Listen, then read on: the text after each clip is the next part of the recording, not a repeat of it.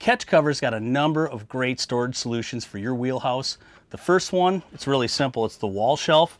It's great because it's got a cup holder. It's got some flat pads here with some memory foam. You can go ahead and put a cell phone, keys, just about anything you need. You can mount it to the wall. You can mount it on the edge of the bed even.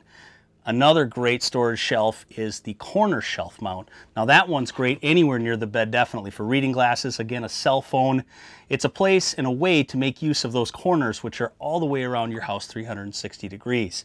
But definitely far and away my favorite is the rod rack. This baby's got a lot of really nice features. You can go ahead and pull your rods out easily. This one's mounted on the ceiling, which I really like, but you can also mount it vertically. And as a great after season tip, when you're done using your fish house for the winter, go ahead and back out a couple of these screws, put the whole unit inside your garage, and you've got a great way to store your rods in the off season to keep them safe.